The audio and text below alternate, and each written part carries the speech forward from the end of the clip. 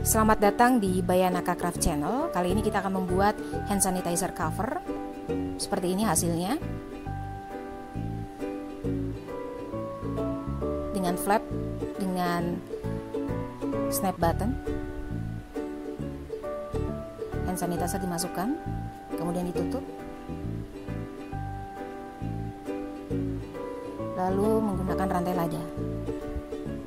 Sebelum membuat pola, kita akan ukur terlebih dahulu hand sanitizer yang akan kita gunakan. Apa pun boleh digunakan, artinya kita akan mengukur. Pertama-tama saya akan buat terlebih dahulu bentuknya.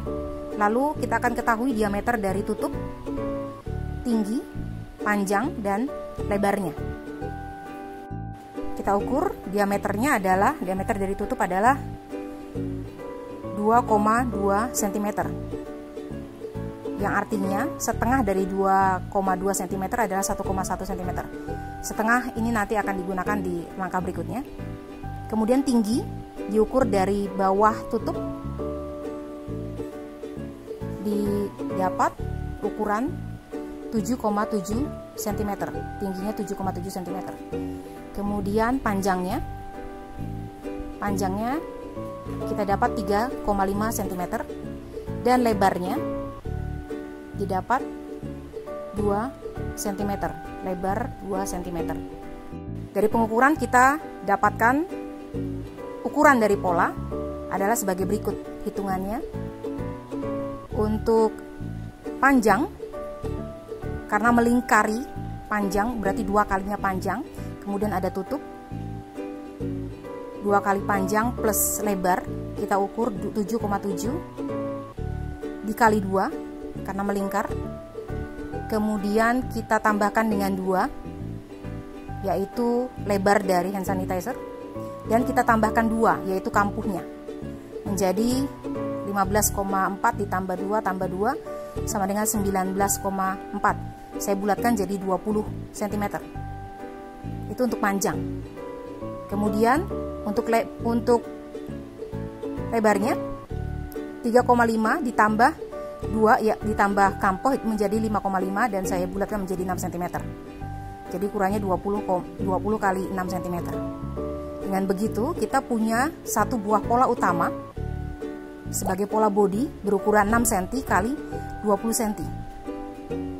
Kita butuh dua dua kain yaitu untuk outer, untuk inner masing-masing satu. Kemudian untuk tutupnya, flapnya kita ambil ukurannya adalah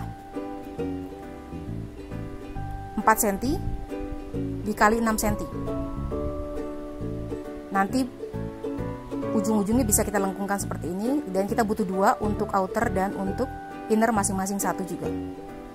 Ini adalah pola yang kita butuhkan. Berikut adalah bahan sesuai dengan pola. Bahan utama body outer dan inner masing-masing satu kemudian bahan untuk flap masing-masing juga satu. Dan tambahan untuk tali saya gunakan ukuran lebarnya tiga setengah panjangnya 10 cm pertama-tama untuk bahan outer kita buat penanda 1 cm 1 cm kemudian kita lipat gunakan jarum pentul kita lipat semua. Baik sisi kanan maupun sisi kiri menggunakan kita gunakan jarum pentul untuk menahan lipatannya. Untuk outer begitu juga dengan inner sama. 1 cm 1 cm kemudian dilipat kemudian digunakan jarum lalu kita akan jahit. Kita akan jahit.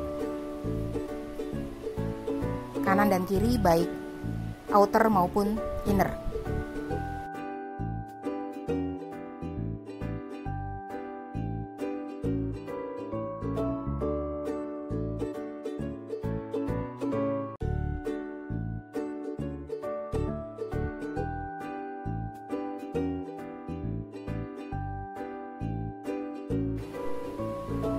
lipat menjadi dua.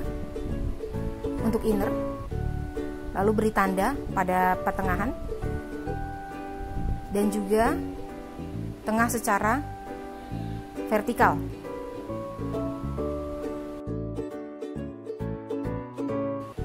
Kemudian karena diameter dari tutup 2,2 kita akan gunakan penanda tengah ini untuk membuat penanda jadi 2,2 berarti penanda tengahnya ini ada di posisi 1,1 seperti yang kita hitung di awal.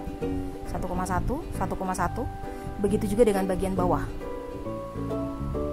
Penanda adalah 1,1 begitu juga dengan penanda tengah secara horizontal. Ini juga 1,1 ke kanan dan ke kiri. Kemudian kita tarik garis baik secara horizontal maupun secara vertikal pada penanda 1,1 seperti ini sehingga terbentuk kotak di tengah-tengah. Kotak di tengah-tengah seperti ini. Lalu kita tumpuk kain inner dengan kain outer sisi bagus saling berhadapan.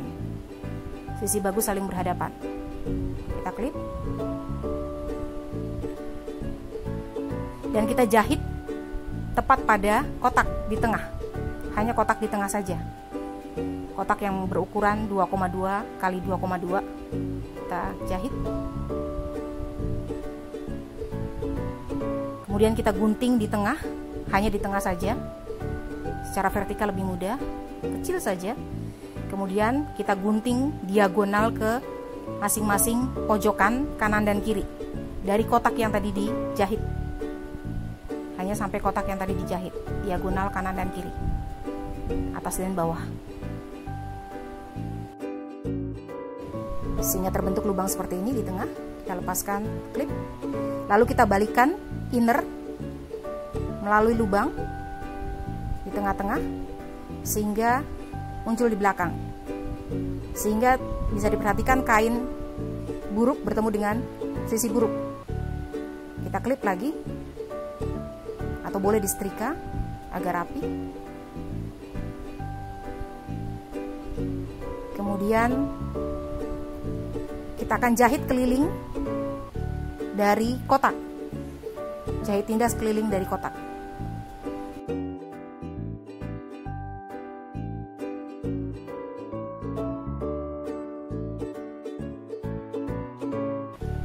Hasil sebagai berikut sudah tertindas kita sisihkan terlebih dahulu.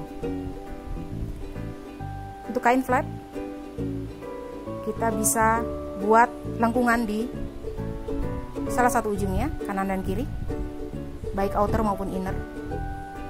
Ini bebas boleh tetap kotak boleh melengkung kemudian tumpuk dengan sisi bagus saling berhadapan. Dan jahit sisi bagus saling berhadapan kemudian jahit keliling menyisakan sisi pendek untuk tidak terjahit.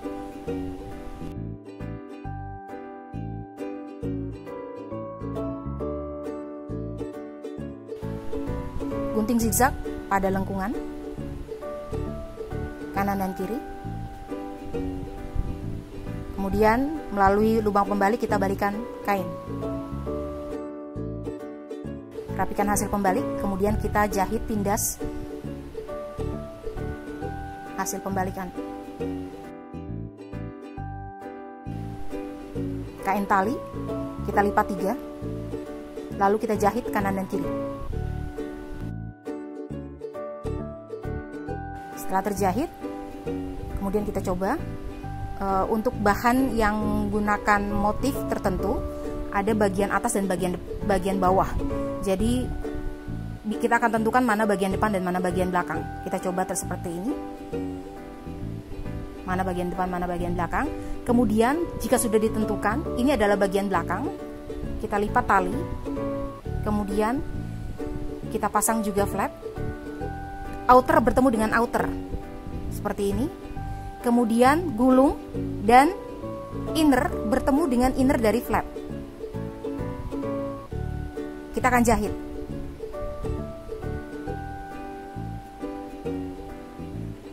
Jahit dengan kampus 1 cm kemudian dari tengah kita keluarkan gulungan dan kita balikan.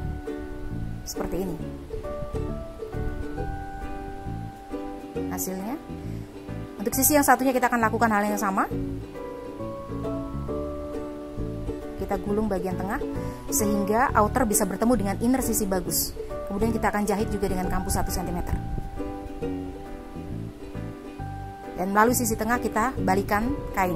Kita keluarkan dan kita balikan kain. Seperti ini. Lalu kita akan jahit tindas keliling. Bisa disisipkan label jika ada. Kita jahit tindas keliling.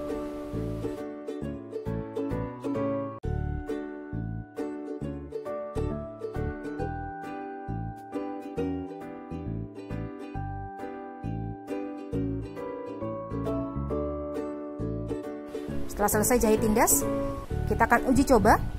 Kita masukkan hand sanitizer seperti ini. Flapnya dari belakang. Kita akan pasang kancing. Bisa menggunakan kancing biasa di bagian body. Kita pasang kancing, kemudian di bagian flap kita buat lubang kancing sehingga bisa saling terhubung. Bisa juga menggunakan snap button seperti ini. Sepasang snap button. Di bagian flap maupun di bagian bodi. Pertama-tama kita berikan penanda terlebih dahulu di mana uh, snap button ini akan dipasang. Kita berikan penanda agar tidak salah posisinya. Kemudian kita lubangi kain baik di bodi maupun di flap. Dan kita pasang snap button di bagian flap tutupnya ada di luar.